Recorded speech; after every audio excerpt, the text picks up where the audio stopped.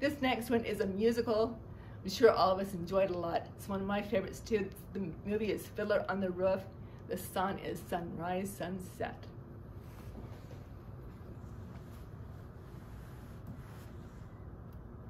Thank you.